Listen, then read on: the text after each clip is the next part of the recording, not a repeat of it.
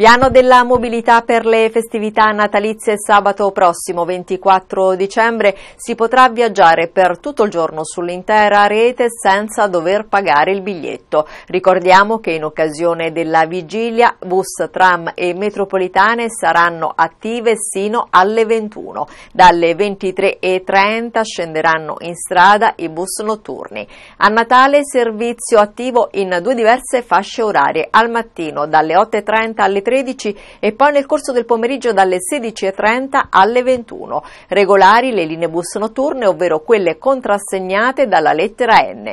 Nel giorno di Santo Stefano invece normale servizio festivo. Infine nella notte dell'ultimo dell'anno le linee del metro faranno gli straordinari e saranno attive sino alle 2.30 di notte. I dettagli su romamobilita.it.